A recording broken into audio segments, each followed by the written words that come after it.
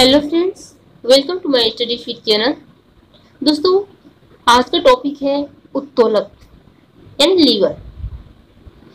दोस्तों, ये किंसियोलॉजी में बहुत बहुत टॉपिक है। इससे क्वेश्चन ज़रूर पूछे जाते हैं। एक या दो क्वेश्चन ज़रूर होते हैं। तो वीडियो को शुरू से लास्ट तक देखिए। एंड पहली बार विज़िट कर रहे हैं। चैनल को सब्सक्राइब कर लीजिए और बेल आइकन को प्रेस कर लीजिए। इससे जो भी मैं नया वीडियो आगे अपलोड करूँ, उसका नोटिफिकेशन आपको सबसे पहले मिलता रहे। तो दोस्तों, चलिए जानते हैं उत्तोलक क्या है। सबसे पहले हम जानेंगे उत्तोलक कहते किसे हैं। तो एक जो उत्तोलक है, एक सख्त डंडा है, जो किसी कार्य को आसानी से करने में सहायता करता है। जो क्या करता है, एक बिंदु के चारों ओर घूमता है। जो एक स्थिर बिंदु के चारों ओर क्या होता है, घूमता है। ठीक है? सामान्य भाषा में ये कह सकते हैं कि सामान्य रूप से कम बल लगाकर अधिक कार्य करने की क्षमता को हम क्या कहते हैं? उत्तोलक कहते हैं। उत्तोलक का प्रयोग किस लिए होता है? कम बल लगाकर, ठीक है? कम बल लगाकर अधिक कार्य करने की क्षमता को उत्तोलक कहते हैं। उत्तोलक होती है, ठीक है? ये हमारे मानव शरीर में जो है, हमारी लंबी अस्थियाँ जो है, उत्तोलक का कार्य करती है। ये वेरी इंपॉर्टेंट क्वेश्चन है कि हमारे शरीर में लंबी अस्थियाँ किसका कार्य करती है? तो उत्तोलक का कार्य करती है। ठीक? मानव शरीर में जितने भी मूवमेंट्स होते हैं, जितनी भी गतियाँ होती हैं वह सब किसके कारण होती हैं? लीवर के द्वारा होती है। इसलिए हमारा शरीर जो है लीवर के रूप में कार्य करता है। ठीक है? एंड हमारे शरीर में जितने भी ज्वाइंट्स हैं, देखो, उत्तोलक में तीन चीज़ें कार्य करती हैं। कौन कौन सी? एक फलक्रम, यानी एक्सिस अक्ष, ठीक है? एंड एक है रेसिस्टेंस ठीक? एक फोर्स रेसिस्टेंस यानी प्रतिरोध, यानी भार, और फोर्स यानी बल, ठीक है? ये तीनों फलक्रम रेसिस्टेंस फोर्स तीनों से उत्तोलक बनता है, तीनों हमारे उत्तोलक तीन प्रकार के होती है। और हमारे शरीर में ये कैसे कैसे कार्य करती है, कहाँ पे होती है, सबसे पहला बात कि हमारे शरीर में जितने भी ज्वाइंट्स हैं, वो एक्सिस का काम करती है, यानी फलक्रम का कार्य करती है, ठीक है?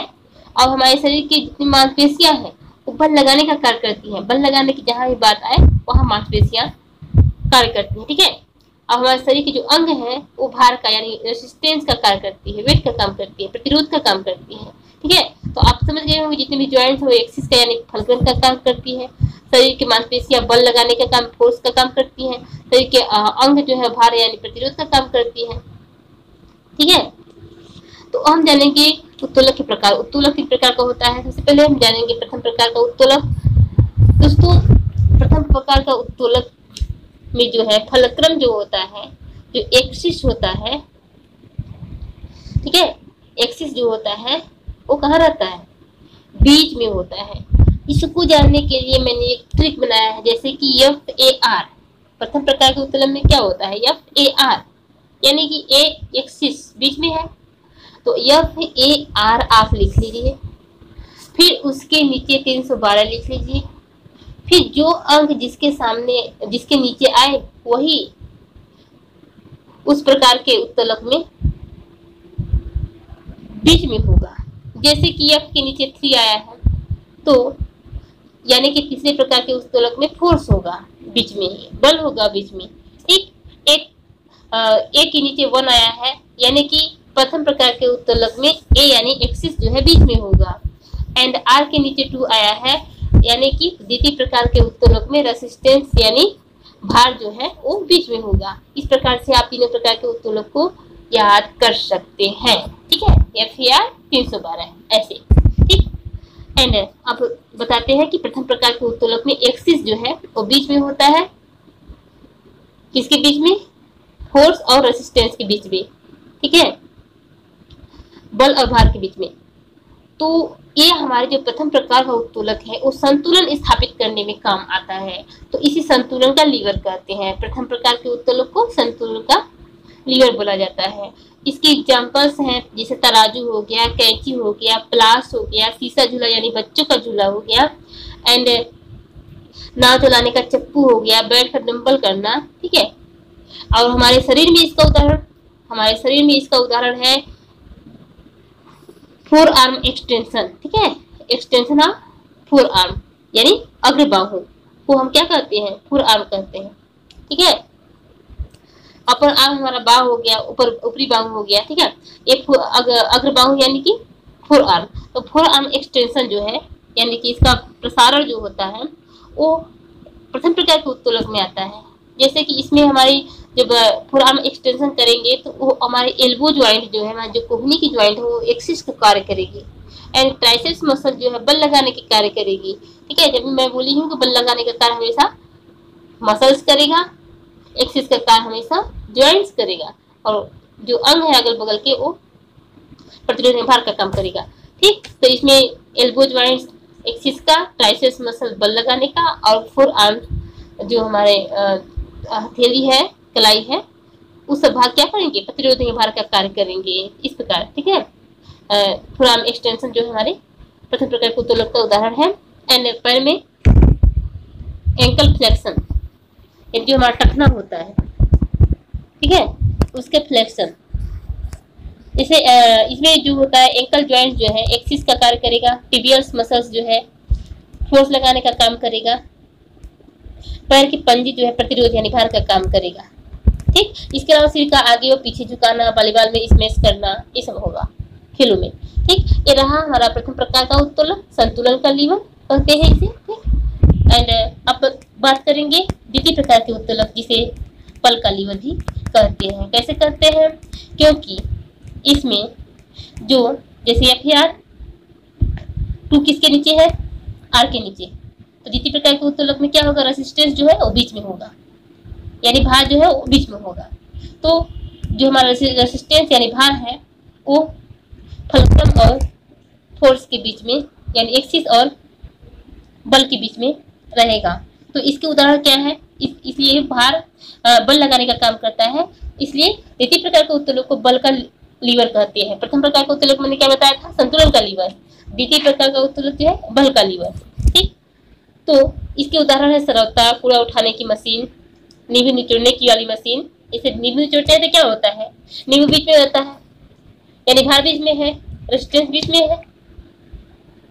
और एक तरफ़ एक्सिस है एक तरफ़ बल लगा रहे हैं, तभी तो नींबू निचोड़ रहा है। तो नींबू निचोड़ने की मशीन, कागज़ में सुधार लगाने वाली मशीन, कब्जे पर घूमता हुआ दरवाज़ा, ये सब है इसके उदाहरण। और हमारे शरीर में इसके उदाहरण है प्लेंटर फ्लेक्शन जो हमारे पैर के पंजे हैं, ठीक है? उसके फ्लेक्शन की बात हो रही है। तो यानी कि पंजों के ऊपर की ओर उठाना तो प्लेंटर फ्लेक्शन होता है। इसमें क्या हुआ हमारे टखने का जोड़ जो है एक्सिस का कार्य करेगी, ठीक है? और पास की मेसी पेशी जो है बल लगाने का कार्य करेगी। पास की पेशी बल लगाने का कार्य करेगी और एड़ी जो है प्रतिरोध का कार्य, भार का काम करेगी। ठीक है? एंड या पुशअप लगाना, जबड़े का खुलना और बंद होना, ये सब भी द्वितीय प्रकार के उत्तोलक में आएँगे। यानी एंड बास्केटबॉल और वॉलीबॉल में पंजे से जंप लेना ठीक है? बास्केटबॉल या वॉलीबॉल में पंजे से जंप लेना ये द्वितीय प्रकार के उत्तोलक का उदाहरण है। तो कैसे इसमें क्या होगा? जब बास्केटबॉल या वॉलीबॉल में पंजे से जंप लेंगे तो उस समय जो हमारी उंगलियाँ होंगी, उंगलियों का जुड़ होगा एक्सिस का काम करेगी कॉफ मसल जो है फोर्स का काम करेगी एडी रेसिस्टेंस का कार्य करेगी। ठीक है? एंड अब हम बात करेंगे तृतीय प्रकार के उत्तोलक, जिसे गति का उत्तोलक भी कहते हैं। ठीक है? मैंने बताया था क्या? एफ़ ए आर यानी तीन सौ बारह यानी तीन तृतीय प्रकार के उत्तर की बात हम कर रहे हैं तो तृतीय तीन जो है किसके नीचे है? यफ के नीचे है। यानी कि फोर्स जो है हमारा बीच में होगा यानी बल जो है हमारा बीच में होगा एक्सिस और रेसिस्टेंस यानी भार के बीच में बल होगा। बीच में क्या होगा? बल होगा। तो आ, ये जो है तृतीय प्रकार का उत्तोलक जो है गति उत्पन्न करने में सहायक होती है, इसलिए इसको गति का उत्तोलक कहते हैं। तो इसे बल जो है, यानी फोर्स एक्सिस और रेसिस्टेंस के मध्य में होगा।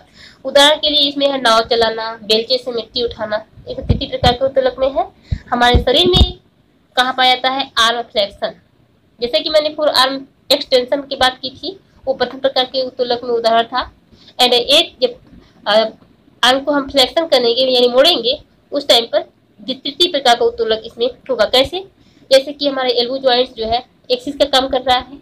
रेडियस रेडियस टिब्रोसिटी जो मसल्स है, वो फोर्स का काम कर रहा है, यानी कि बीच में आ गया। और अग्र हाथ जो है, वो प्रतिरोध का काम किया।